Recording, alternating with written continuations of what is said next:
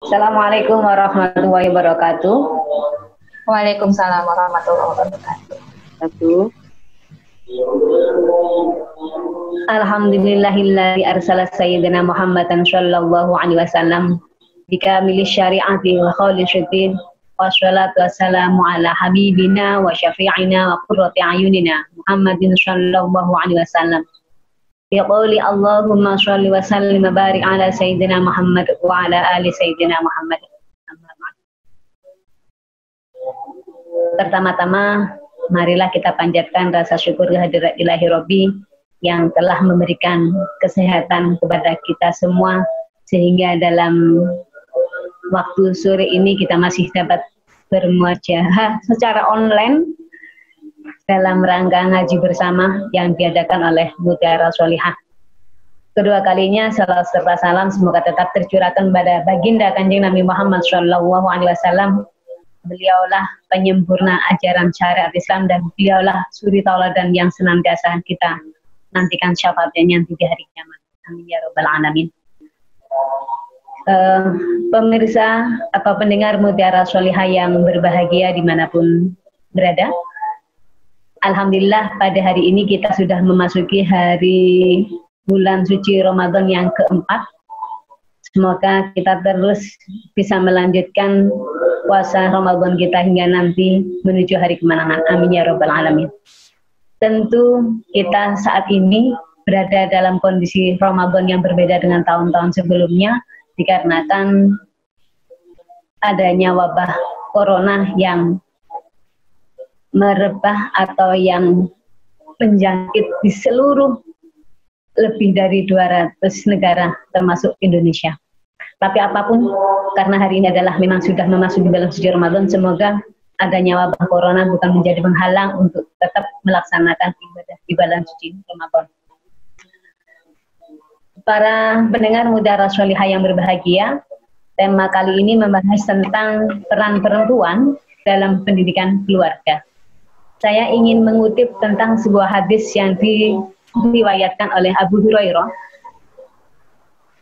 Sebagaimana ketika kanjeng Nabi ditanya oleh para sahabat kanjeng Nabi siapa sih yang harus saya hormati? Kemudian sampai kanjeng Nabi mengatakan umuka umuka umuka abuka saya mengingin uh, saya mencoba mengulas tentang hadis ini terkait dengan bagaimana umuka yang dimasukkan ini adalah bisa menjadi label seorang perempuan dengan berbagai macam peran dan dengan berbagai macam tugasnya. Perempuan dalam hal kaitannya dengan kontribusi atau tanggung jawabnya dalam sebuah lembaga keluarga ternyata sangat besar peranannya dan sangat besar tanggung jawabnya. Maka tentang perempuan yang dikatakan dengan berbagai macam kontribusi dan kiprahnya sebenarnya bukan sesuatu yang dilemahkan, tetapi bagaimana perempuan itu sendiri dengan perannya memberikan kontribusi yang sangat luar biasa dan ini adalah hasil kerjasama yang baik antara suami dan istri. Maka kalau boleh saya mengatakan kita membicarakan aspek keluarga itu adalah sebenarnya komunitas masyarakat sosial yang paling kecil dikarenakan ada masyarakat yang paling besar bahkan yang lebih besar lagi sampai yang keseluruhannya. Maka dalam sebuah tema yang dalam uh, slide itu saya buat tentang jenjang kemaslahatan ada istilah keluarga sakinah. Ini berarti bagaimana sebuah komunitas kecil dalam sebuah rumah tangga.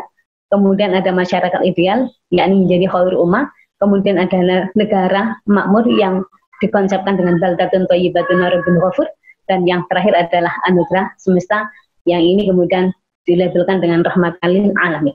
Nah, sore ini kita membahas tentang bagaimana peran perempuan dalam dunia pendidikan. Banyak sekali referensi-referensi, termasuk referensi-referensi yang diajarkan di pondok pesantren. Bahwasanya kalau kita, saya pribadi terutama, saya ingin mencoba mengorek tentang kontribusi peran perempuan di khususnya di pesantren yang sedikit banyak bahkan keberadaan beliau-beliau perempuan-perempuan atau dalam bahasanya adalah para bunyai ini mempunyai kontribusi yang luar biasa dalam mengantarkan, mendidik dan mengasuh para santri-santri, entah itu santri putra maupun santri putri. Artinya apa? Ternyata perempuan itu tidak hanya dibatasi oleh sebuah sekup, hanya terbatas untuk ruang tertentu, akan tetapi juga merambah kepada aspek-aspek yang membahas tentang lintas sektoral dalam hal ini mungkin bahasa saya adalah ruang publik. Maka sekali lagi uh, saya bisa mencontohkan bagaimana perempuan-perempuan yang sangat luar biasa andil kontribusi pemikirannya tidak hanya berhasil mengantarkan putra putrinya, tetapi juga mengantarkan santri-santrinya yang mungkin pada akhirnya perempuan yang dalam hal ini adalah seorang pengasuh akan bangga ketika santri-santri atau para alumni-alumninya sangat bermanfaat di tengah masyarakat. Uh, selanjutnya tentang perempuan dalam lingkup keluarga kaitannya dengan pendidikan, adanya kesuksesan dalam sebuah kerjasama yang baik manakala adanya partnership antara seorang suami dan istri.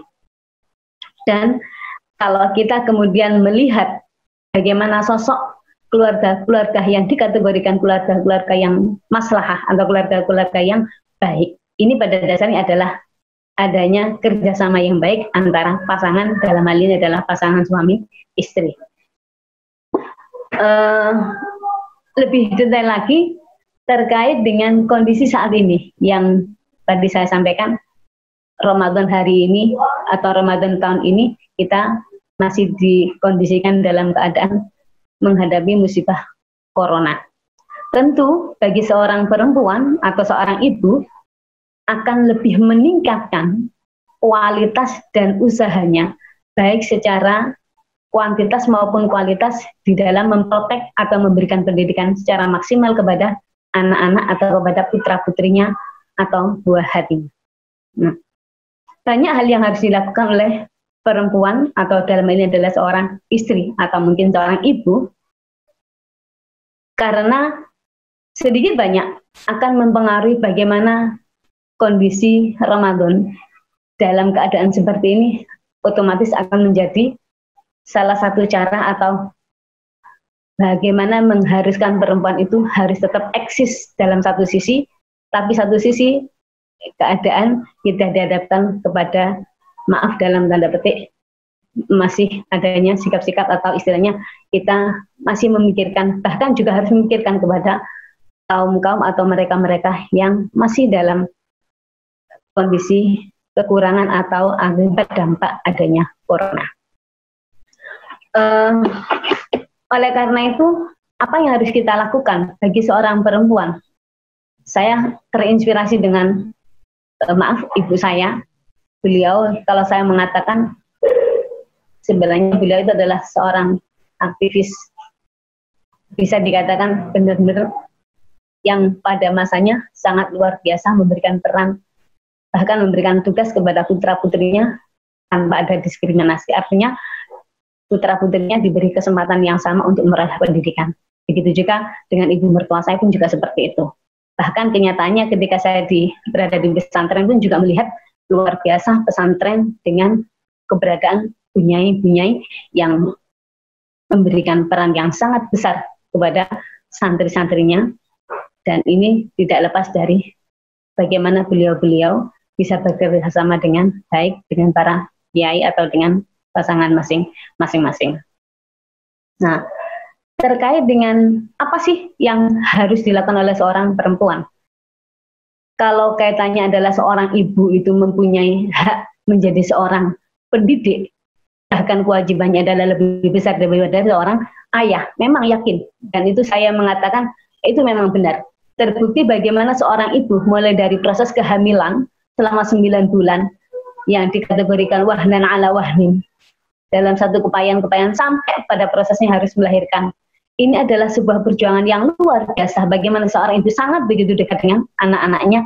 Yang ini dimulai dari kontak ketika seorang ibu dalam proses kehamilan sang buah hati atau uh, dengan sang janin yang belum lahir sampai ketika sudah waktunya anak tersebut lahir dari rahim sang perempuan tersebut. Nah, Berbeda dengan seorang laki-laki, maka sekali lagi pantas kalau kemudian Islam mengajarkan bahwasanya perempuan menduduki tempat yang tertinggi terkait dengan kewajiban atau mungkin terkait dengan peran dan fungsinya untuk memberikan pendidikan atau pengajaran yang begitu besar kepada putra putrinya. Yang kedua, bahasa ibu adalah bahasa yang eh, maaf, bahasa ibu adalah atau seorang ibu paling dekat dengan anaknya itu adalah memang keharusan. Dan ini tidak lepas dari karena proses kehamilan yang dirasakan oleh seorang ibu tadi selama 9 bulan, maka seorang anak ketika mengatakan sesuatu itu yang paling paham atau yang paling tahu bahasa yang dimaksudkan adalah yang paling memahami pertama itu adalah seorang ibu. Maka dalam lingkup rumah tangga, kalau ada komposisi seorang ayah, seorang ibu, anak-anak, maka keberadaan ibu yang semestinya adalah harus bisa lebih dekat dengan anak adalah sebuah hal yang tidak bisa dikesampingkan. Artinya, kedekatan seorang ibu bagi sebagai seorang ibu, bahkan sebagai seorang sahabat bagi seorang anak-anaknya, ini adalah memang harus dilakukan. Karena jangan sampai kemudian seorang ibu ini tidak tahu apa-apa atau tidak mengerti apa yang dilakukan oleh anak-anaknya hanya karena seorang ibu terlalu sibuk dengan aktivitas di luar rumah. Maka pendidikan terbaik menurut saya dalam sebuah keluarga adalah tergantung bagaimana seorang ibu. Seorang ibu tidak hanya sekedar sebagai seorang ibu, tetapi seorang ibu adalah bisa menjadi seorang prototipe, seorang contoh, seorang uh, perempuan yang bisa memberikan keteladanan kepada putra putrinya. Kalau saya boleh mengatakan uh, terkait dengan apa yang dilakukan oleh anak saya, mohon maaf, ini adalah dalam menghadapi wabah corona. Tanpa istilahnya apa hanya sekedar izin hanya kulon kepada saya matur kalau ingin berbagi dengan masyarakat sesuai dengan kebatas kemampuan. Artinya apa uh, seorang anak pun bagaimana akan melihat bagaimana akan meneladani seorang orang tuanya begitu juga seorang anak akan selalu berkiblat kepada orang tuanya khususnya kepada ibunya maka sekali lagi, hadirnya sebuah kemaslahatan yang baik, maka di dalam setiap rumah tangga hadirkan. Ketika anak bisa begitu dekat dengan orang tua, khususnya dengan seorang perempuan yang dalam hal ini adalah ibu. Ada istilah ibu, ada istilah uma, ada istilah ima, ada istilah mama, ada istilah mak, semua yang atribut apa pun. Tapi pada dasarnya di situlah sebuah peran yang sangat begitu besar bagi seorang perempuan untuk memberikan pendidikan keluarga kepada anak-anaknya karena keluarga adalah menjadi kunci mutlak keberhasilan ketika anak-anak yang dilahirkan dari pasangan tersebut adalah menjadi gambaran masyarakat atau gambaran keluarga sakinah mawadah warahmah. Selanjutnya terkait dengan uswah pemberian atau istilahnya keteladanan seorang ibu kepada anaknya. Bagaimana agar anak itu mengetahui bagaimana anak itu agar mencontoh bagaimana anak itu adalah selalu terinspirasi. Karena itu juga saya lakukan ketika saya terinspirasi dengan il almarhum ibu saya. Juga seperti itu. Juga kepada ibu mertua saya dan kepada perempuan-perempuan yang saya temui di pesantren dan di dunia akademik saya banyak menemukan perempuan-perempuan yang sangat luar biasa yang ini adalah tidak lepas dari bagaimana peran yang dimiliki oleh seorang perempuan. Uh, yang ingin saya sampaikan terakhir, prototip seorang ibu dengan sendirinya adalah menjadi contoh bagi anak-anaknya. Di kondisi yang kondisi seperti ini, kaitannya dengan corona, saya mengatakan saya biasa menyuruh anak-anak saya dan saya mengajarkan apa yang saya lakukan adalah agar mereka meniru. Ini adalah salah satu bentuk bagaimana kita harus bisa memberikan contoh, harus bisa memberikan keteladanan, harus bisa membangun karakter yang sekiranya anak itu adalah memang benar-benar menjadikan rumah tangga atau keluarganya dalam hal ini adanya seorang ibu atau orang tua ibu abahnya atau ibu ayahnya menjadi simbol sebuah kebahagiaan bagi sang anak. Nah, dan yang terakhir kaitannya dengan wabah corona ini, semoga kita masih terus senantiasa untuk bisa semaksimal mungkin melakukan dan istilahnya empati kepada siapa pun yang masih membutuhkan tanpa kita kemudian foya-foya dengan menghadirkan makanan-makanan enak-enak sementara kita masih belum tersentuh dengan mereka-mereka yang berada di kanan kiri atau mungkin mereka-mereka yang terkena dampak dari corona. Nah, lagi-lagi bagaimana membangun empati pun adalah bagian dari seorang perempuan untuk peka, sadar, dan ini dengan sendirinya akan diteladani oleh anak-anak itu atau putra putrinya sendiri. Ya sama dengan tadi yang saya sampaikan, ketika anak mempunyai keinginan untuk melakukan donasi, saya merespon bagus, alhamdulillah kalau punya kesadaran seperti itu entah itu dengan hasil uangnya sendiri, tapi yang pasti karena niat donasi adalah diambilkan dari uang hasil sakunya, maka saya mendukung dan saya mengatakan baik kami seperti itu, alhamdulillah mempunyai rasa kepekaan, mempunyai rasa iba, empati kepada sesama, apalagi masih uh, begitu terasa atau dalam hal ini corona yang masih kita belum tahu kapan berakhirnya, tapi berharap semoga datangnya bulan suci Ramadan menjadikan corona segera hilang segera diangkat oleh Allah dan menjadikan kita semuanya dalam keadaan normal kepingin menjadi negara sebagaimana yang uh, keadaan kondisi normal yang menginginkan kita bisa melaksanakan aktivitas yang bisa bermanfaat untuk siapa pun dan kapan pun. Itu mungkin sebagai pengantar dari saya untuk para pendengar Mutiara Solihah. Selanjutnya saya persilakan kepada Mbak Dini. Mohon maaf terima kasih. Oke, okay. terima kasih Ning Iroh. Uh, Masya Allah ya, tadi peran perempuan uh, kalau di keluarga adalah ibu, ya ibu kita. Ya kalau dengan pasangan berarti istri ya, istri luar biasa sekali pengaruhnya uh, terhadap pendidikan di keluarga. Ya, monggo uh, saya persilahkan kepada uh, peserta jika ada pertanyaan ya bisa langsung uh, bertanya atau melalui chat. Monggo dipersilakan. Ada pertanyaan mungkin. Bu Muri mungkin.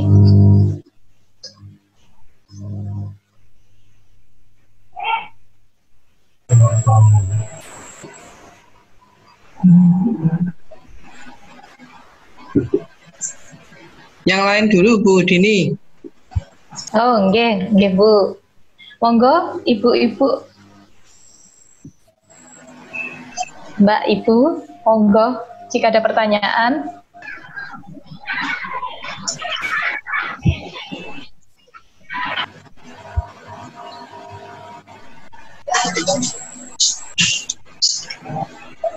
Monggo Bu Nuri bisa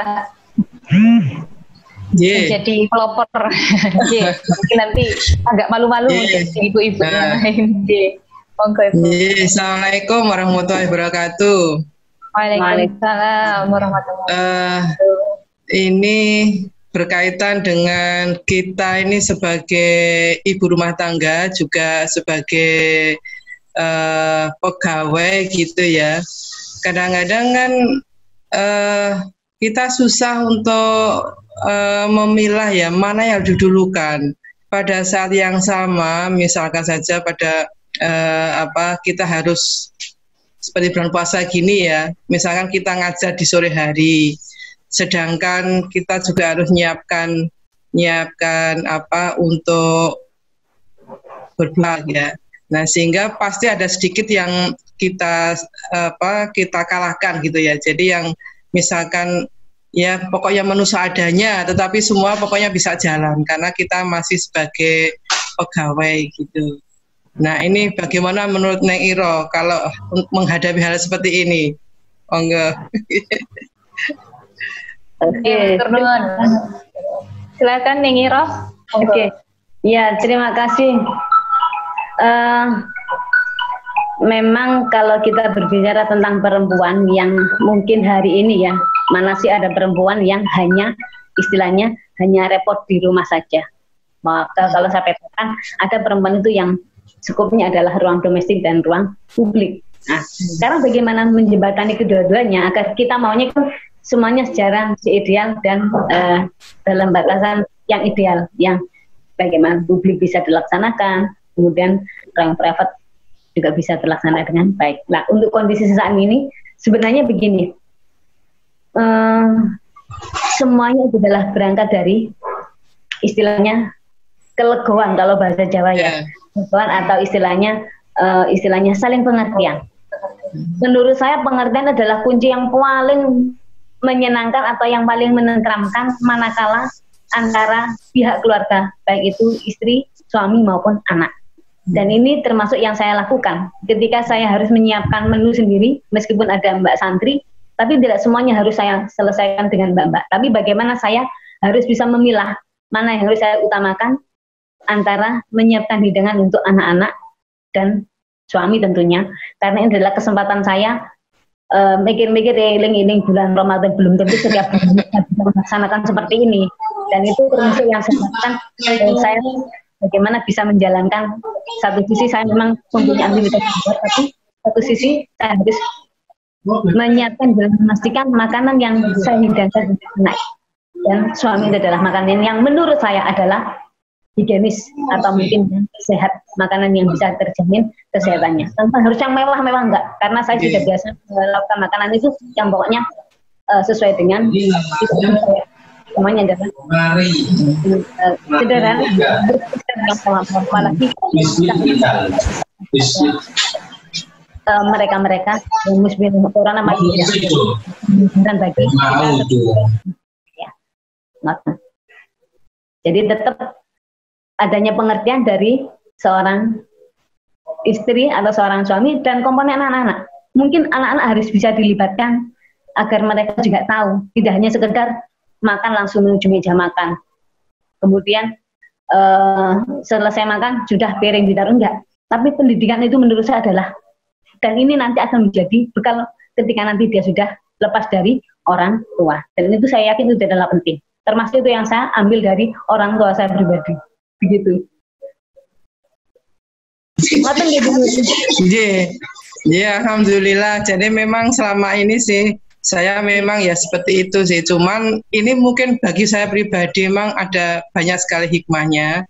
Karena biasanya saya tiap hari itu kalau tidak ada uh, apa kerja di rumah gini, saya biasanya jam lima setengah enam tuh baru pulang gitu. Begitu. Nggih. Jadi ini malah alhamdulillah saya seharian di rumah, cuman ya memang tetap aja kegiatan nggak ganti-gantian. Jadi kita ambil hikmahnya saja lah mungkin. Ya, alhamdulillah. Ya, bagi saya ini alhamdulillah sekali puasa sekarang ini. Walaupun kondisinya seperti ini. Jee. Berbeda sekali. banyak pembelajaran. Jadi banyak kan banyak, banyak waktu gitu ya. Ya, betul. Jee. Yeah. Saya biasanya jarang sekali bisa apa baca Al-Qur'an yang lama. Nah, sekarang ini saatnya alhamdulillah bisa oh, setiap saat. Alhamdulillah. alhamdulillah. Apalagi momen Ramadan ya. hikmah. Nggih. Eh. Nggih. Matur nuwun Neng Iro. Nggih, sama-sama. Sama-sama. Eh, matur nuwun Bu Nuri. Nggih. Uh, monggo ibu-ibu dan mbak-mbak Monggo ini ada siapa Mbak Alda, Bu Kartika, ada Bu Kristanti, nggih monggo. Ada Bu Lica, ini Bu Rayu.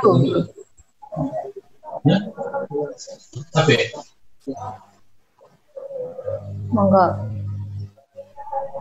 Uh, mungkin ini Ning Okay. Saya sambil menunggu yang lain mungkin ada. Iya, Mbak Dini. Jadi uh, biasanya kalau di keluarga itu uh, yang memang apa ya uh, banyak berinteraksi gitu ya, berinteraksi langsung dengan anak-anak itu ibu gitu ya. Ya. Uh, karena bekerja gitu ya, bapaknya bekerja. Nah, uh, ada kalanya ini mungkin memang memang uh, melewati mas fasenya anak-anak ya kalau misalnya wah ini nakal gitu ya nakal kemudian tidak suka diem ya mungkin susah diamnya. Nah, seperti ini padahal orang tua ya bapak ibu uh, mendidiknya sudah sudah benar gitu ya. Tapi yeah. tetap saja gitu yang yang nggak mau diam atau apa gitu ya. Uh, seperti ini apa kira-kira uh, kesalahannya dari mana ya? Apakah memang uh, apa kurang sabar atau bagaimana? Atau memang pada pada ibu ya karena yang berinteraksi banyak gitu ya dengan anak-anak atau bersikapnya seperti apa ya nih kalau misalnya menghadapi uh, anak-anak yang memang susah diatur ya seperti itu. Mungkin ada saran atau mas sehat dari Ning Iroh mungkin? Iya. Uh, begini Mbak Dini, saya kira kalau katanya dengan nakalnya anak-anak sebang dalam batas tanda petik ya, semisal masih wajar, saya mengatakan itu sudah nggak apa-apa. Memang itu adalah istilahnya uh, proses pertumbuhan atau proses perkembangan jiwanya. Oh, nanti suatu saat juga dia tidak akan mengulangi lagi. Saya berharap seperti itu. Dan itu saya contohnya di rumah saya. Anak saya itu yang nomor dua dan nomor tiga itu cowok. Uh, semisal di luar itu kondisinya hujan, dia badminton itu di dalam rumah. Saya batin, ya Allah ya sudahlah, wong suatu saat juga tidak akan mengulangi kejadian seperti itu. Dan saya mengatakan, ya itulah uh, istilahnya kenikmatan ketika kita menjadi seorang ibu dan memahami bagaimana dengan tipikal anak-anak masing-masing. Anak saya tiga, yang pertama perempuan, yang kedua ketiga itu join. Istilahnya ya akan sama-sama laki-laki ya. Jadi kompak apa pun dilakukan bersama. Pokoknya ya selama dia enjoy, selama dia nyaman, apa pun dilakukan meskipun itu kadang harus di dalam rumah. Kadang saya bayang lagi orang orang badminton, oh anak badminton di dalam rumah, ya sudahlah nggak apa-apa apa pun kadang semuanya semuanya mereka itu istilahnya dan saya tidak akan pernah membatasi. Selama itu adalah masih dalam kategori wajar selama itu dalam masih kategori uh, normal. Kecuali sampai pada batasan uh sudah nggak bisa diatur. Nah, dan alhamdulillah anak-anak kalau terutama ayahnya ayahnya paling bisa seperti ini. Pokoknya kalau nggak manut ya terus bagaimana lagi? Kewajiban imah dan awi itu maksud saya dan uh, suami. Ingin adalah mendidik samen semuanya Nanti kalau sudah besar sama akan melihat manfaatnya seperti itu.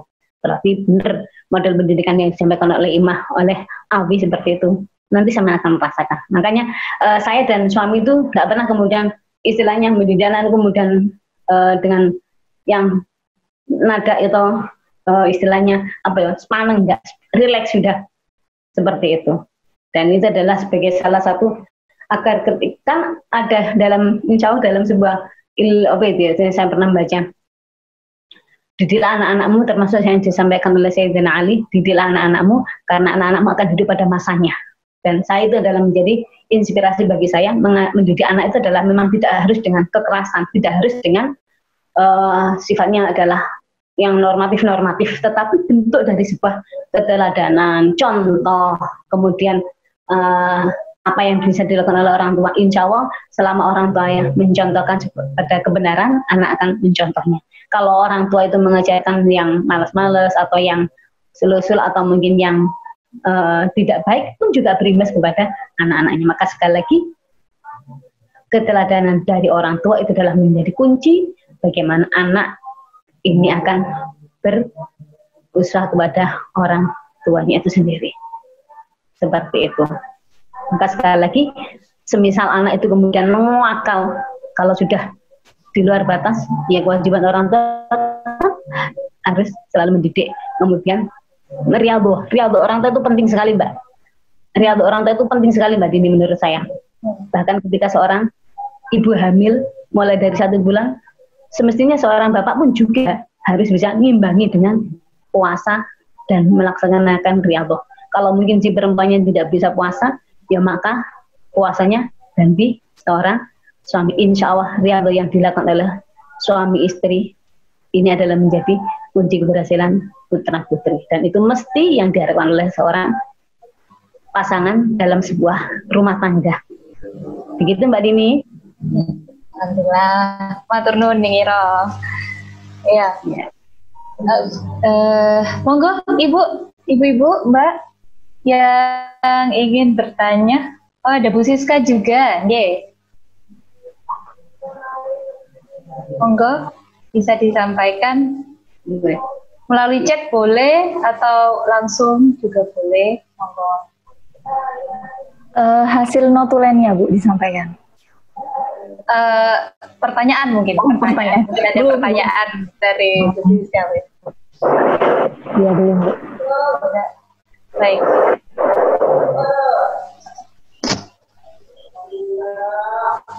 Monggo mungkin ada lagi.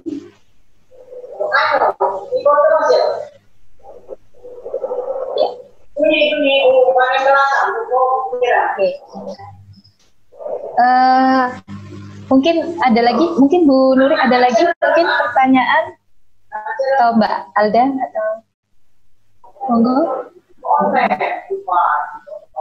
Sementara Masih ada waktu. Oh, nggih, nggih Bu. Masih ada waktu. Oh iya, nggih Bu, Ada waktu masih sekitar 15 menit. Monggo silakan yang ingin bertanya. Uh, kalau kalau biasanya ini uh, nih mungkin ibu-ibu juga sering melihat apa di TV TV gitu ya sinetron gitu ya yang apa uh, sampai begitu teganya misalnya anak yang durhaka atau apa ya naudzubillah tapi ya. Ya semoga terhindarkan dari hal itu. Uh, ya mungkin ada amalan atau atau apa ya doa yang sangat baik yang bisa diamalkan untuk anak-anak kita gitu ya nih Biasanya, oh ya bu mohon maaf itu ada yang tanya ya ya, ya. oh ada yang tanya oh iya iya Ya, ya ini ada dari Bu Lica bisa di-sharing ada doa khusus harian untuk mendoakan anak-anak kita. Iya nanti Mbak Dini itu nanti insya Allah. Hati. Oh oke. Oke oke nih. Ada pertanyaan dulu kan? ya Bu Lica. pas pas sama ya pertanyaannya jadi apa saya juga terpikir apa ya mungkin ada doa-doa amalan doa apa doa-doa yang ini untuk anak-anak kita gitu ya. Saya siapa Mbak Dini? Iya, monggo Ning. Uh, Bismillahirrahmanirrahim. Uh, kita itu pinginnya mesti ya, anak itu nanti menjadi anak yang manfaat barokah di dunia dan. Tidak hanya di dunia, tapi sampai nanti akhirat. Nanti sampai ke akhirat. Uh, makanya dalam sebuah hadis itu dikatakan Ida mata ibnu Adam yang kota amalu illa bisalatin apabila anak Adam itulah meninggal, hanya tiga amalan yang tidak bisa pernah putus. Yang pertama adalah ilmu yang bermanfaat, kemudian doa seorang anak yang soleh, dan sodakoh jariah. Nah, terkait dengan yang ketiga, doa anak yang soleh ini adalah menjadi pengantar bagaimana anak-anak ini bisa menjadi atau membawa kebanggaan atau bisa membawa manfaat kepada orang tuanya. Kemudian apa sih yang harus kita lakukan? Yang jelas adalah tidak hanya sekedar hanya berdoa atau mungkin ikhtiar secara material, tetapi adalah ada istilah uh, secara lahiriah.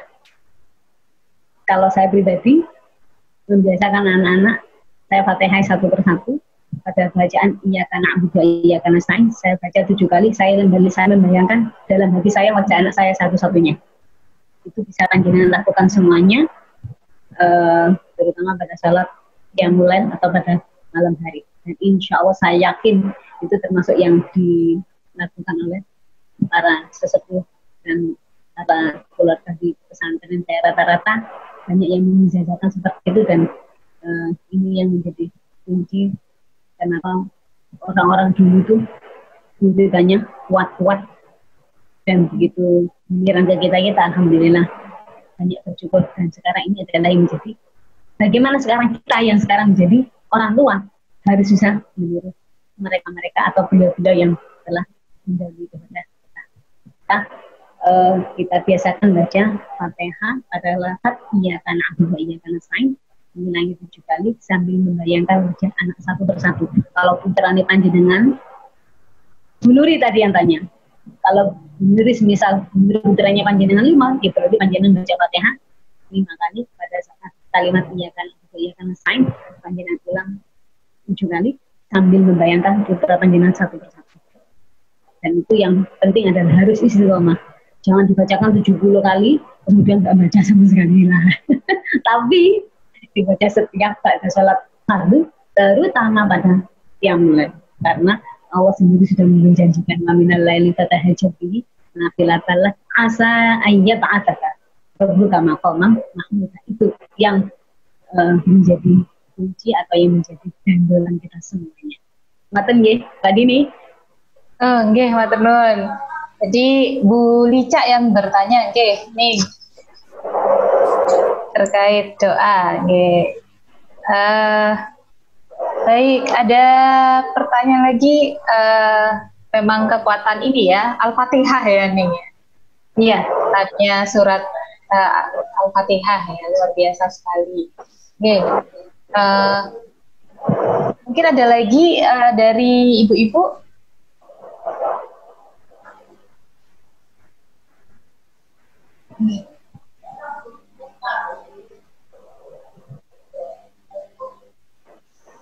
Monggo, Bu. Oke. Okay. Mungkin ada eh, tips-tips uh, lain nih yang selain misalnya mendoakan dengan dengan surat Al-Fatihah tadi, ada yang biasa nih lakukan ya ke putra putri. Okay. Hmm, kalau saya Mbak, saya penting itu istiqomahnya. Kalau khawatir yang kita banyak wiritan terus nggak dilakukan, saya sendiri juga lah ya pakai militan terus nggak dilakukan mending satu karena ini ibu saya juga mengajarnya seperti itu oh. itu istiqomah itu adalah okay. kunci istiqomah oh oke okay. ya istiqomah yang terpenting ya Iya iya. Saya mengatakan jadi uang tua terutama uang itu itu kudu belum ya. Tidak kan istilahnya meninggalkan bekas di hati anak-anak. Oh iya. Kedekatan anak kepada orang perempuan itu kita dengan kepada ayahnya. Tidak tahu itu nalurinya ya. Itu mungkin ya karena mulai dari ketika anak masih dalam kandungan itu yang pasti.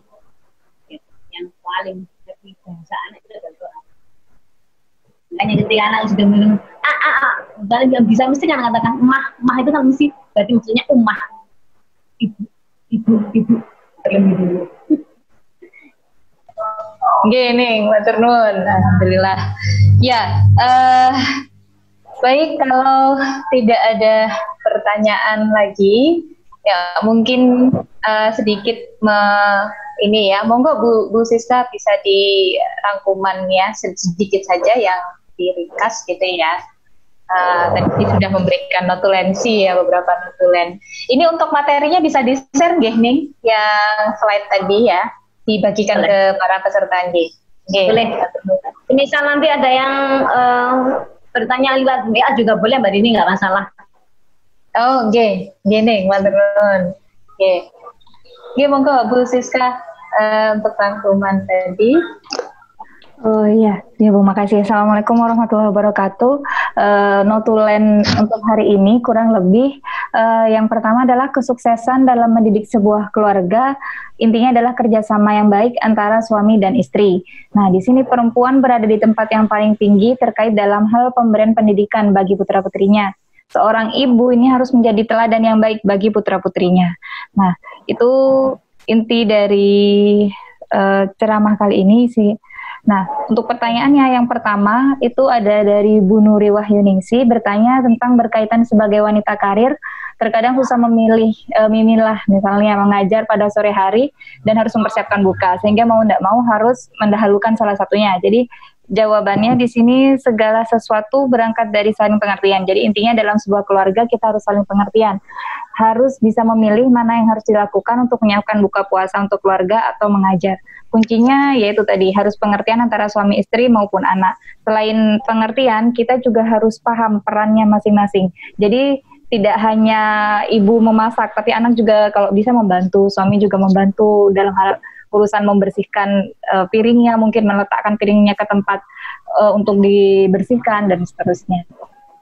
Selanjutnya pertanyaan yang kedua dari Bu Dini, yaitu anak lebih sering berinteraksi dengan ibu karena lebih dekat dengan ibu. Namun terkadang kita menemu, menemui anak-anak yang susah diatur. Nah, kesalahannya ini ada di mana? Di sisi ibunya kah? Karena kan ibu lebih dekat dengan ah, anak lebih dekat dengan ibunya atau bagaimana? Nah, di sini jawabannya anak nakal itu menunjukkan perkembangan jiwa dari anak tersebut.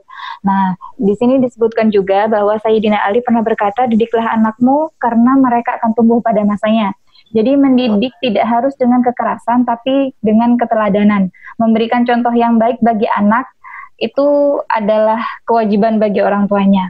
Nah, di sini yang penting lagi adalah riadoh dari orang tua, karena uh, insya Allah riadoh yang dilakukan oleh suami istri baik ya baik suami atau istri itu akan menjadi keberkahan, keberkahan tersendiri bagi anak-anak dan keluarganya. Selanjutnya pertanyaan ketiga dari Bu Lica, uh, bisa di-sharingkah doa khusus harian untuk mendoakan anak-anak kita? Nah, jawabannya yang pertama uh, ada tiga amalan yang tidak akan putus ketika orang tersebut meninggal dunia yaitu ilmu yang bermanfaat, amal jariah, doa anak yang soleh dan doa anak yang soleh.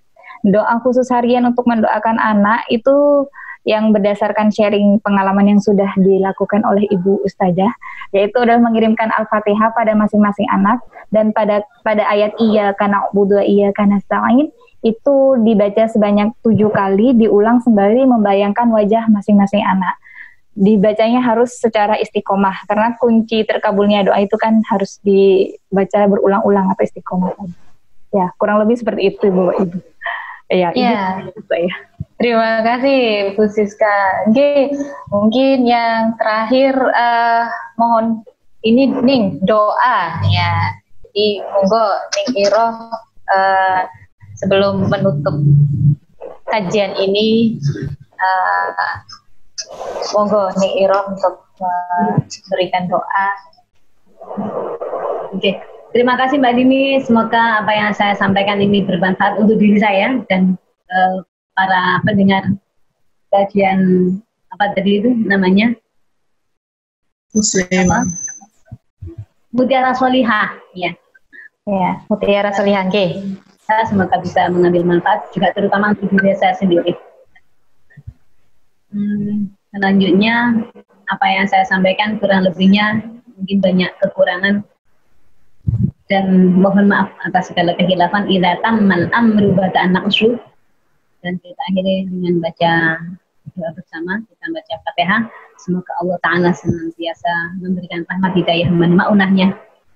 Bulan yang penuh barokah di bulan Ramadan. Amin. Amin. wabah corona segera berakhir sehingga kita bisa menjalankan aktivitas dengan adem ayem dengan tenang. Amin.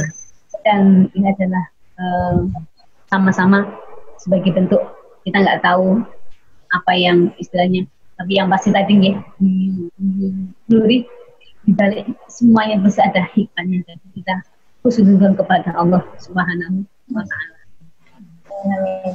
Ina hajatan Al-Fatihah. Alhamdulillah.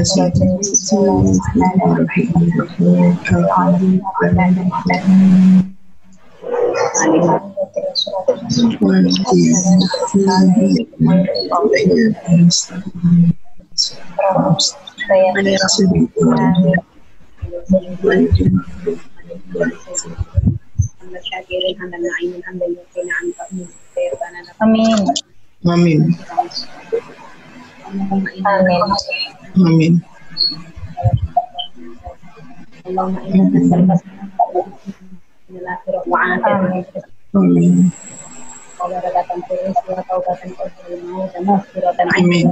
Amin. تقبل صيامنا وتراويحنا وقومنا آمين وقنا وتهدينا وجهنا أعمالنا ببركة الشهر ببركة الشهرين آمين ربنا اغفر لي واغفر لنا ولوالدينا وارحمنا كما ربنا صغارا ربنا ظلمنا أنفسنا وإن لم تغفر لنا ترحمنا لنكونن من الخاسرين. رب اجعلني مقيم الصلاة من ذريتي ربنا تقبل دعاء ربنا وأدخلنا الجنة مع نصر يا عزيز يا غفار وعلى سيدنا محمد عبد وسلم سبحان ربك رب العزة عما يصفون. والحمد لله رب العالمين. الفاتحة